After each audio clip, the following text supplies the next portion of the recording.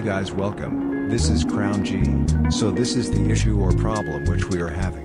I am pressing Alt plus Z on desktop and it works but it doesn't work while in the game. All thanks to Nvidia for these shitty drivers, it is very annoying. So in this video I'll show you a fix which is 100% working. Also don't skip any steps and watch full video till the end else it won't work for you. Also please like and subscribe or comment if you have any problem.